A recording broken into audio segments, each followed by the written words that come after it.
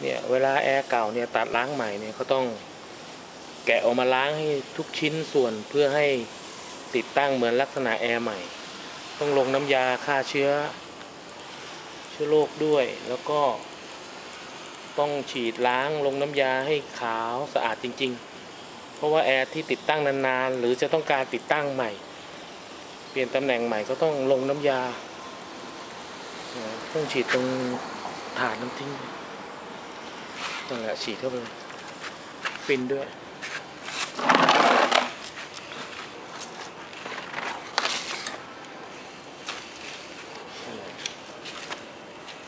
เนี่ยส่วนใหญ่แอร์ด้านหลังเนี่ยจะตัน ตันด้วยสิ่งสกปรกเนี่ย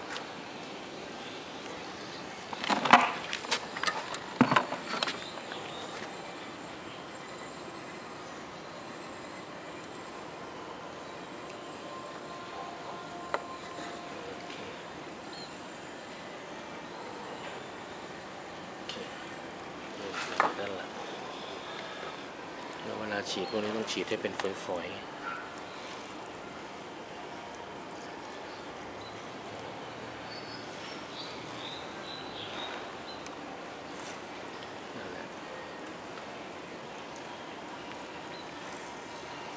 กลับไปฉีดด้านในอีกด้านพลิกกลับฉีดด้านนี้เองตรงนี้มันจะมีร่องถาดน้ำทิ้งอยู่เห็นไหม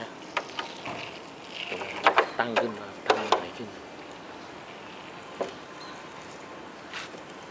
สามชิ้นหลักๆสี่ชิ้นหลัก ๆ ต้องล้างให้เกลี้ยงเลยอืมโอเคโอเค อันนี้ฉีดน้ำยาด้านในอีกทีนงโอเคต้องฉีดด้านในฟินคอยล์อีกทีเออเอาทิ้งไว้ให้ผมนั่น